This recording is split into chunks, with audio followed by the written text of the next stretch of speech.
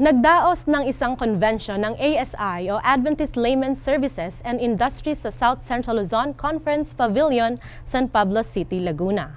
Ang mga tampok na bahagi ng nasabing convention ay nagbuklod sa mahigit isang daang Adventist businessmen na magpatuloy sa pakikibahagi sa gawain ng Diyos kasabay ng kanilang pagninegosyo. Tunghayan ang bazaar at iba pang mahalagang bahagi ng kaganapan sa balitang may pag-asa ni Neil Joseph Ramos.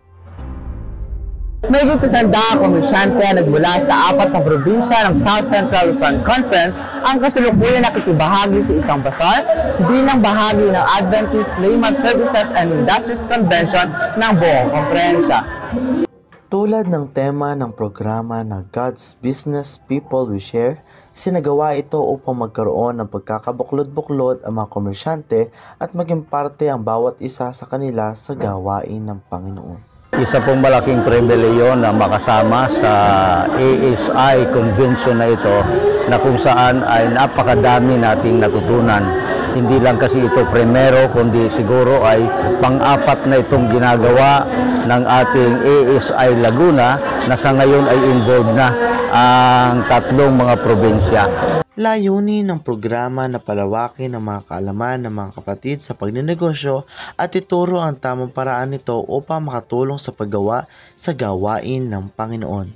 Isang plenary session din ang naganap na dinaluhan ng mga kinatawan ng bawat distrito upang mas palawakin pa ang kanilang gawain. Tayo po ay nagdaos ng ASI convention na ito para mabigyan natin ng pagkakataon ang ating mga kapatid na malaman kung ano ang uh, mga layunin ng ating uh, Adventist Layman Services and Industries.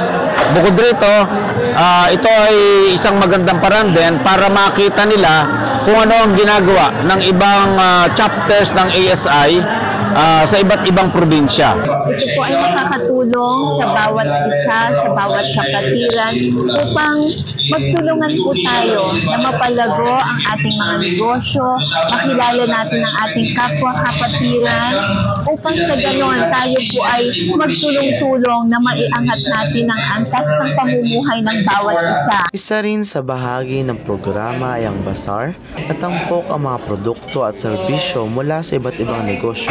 Nung sumali po kami dito, marami po kami nakilala, marami din po kami mga product na uh, nakita at na-appreciate at nakakatuwa po na sa iba't ibang mga churches, marami rin po kaming nakilala, hindi lang dito sa San Pablo. Sa iba-ibang lecture po na aking napapakinggan, totoo pong nagbibigay siya sa akin ng hindi lang uh, yung kaalaman spiritually, pero kaalaman din kung paano humawak ng mga negosyo. Dagdag pa rito ang nagkaroon din ng Memorandum of Agreement sa pagitan ng TESDA at ng ASI na naglalayong magkaroon ng mas malawak na oportunidad para sa ating mga Adventista. Ang pagsayo noon ay isang palatandaan na magkaroon na po tayo ng libre sa tinatawag na araw ng Sabat.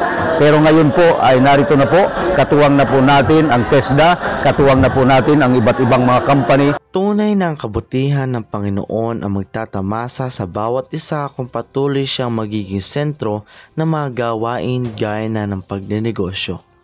Mula rito sa Central Luzon Conference, ako po si Joseph D. Ramos, nag-uulat ng balitang may pag-asa para sa Hope Today and PUC News.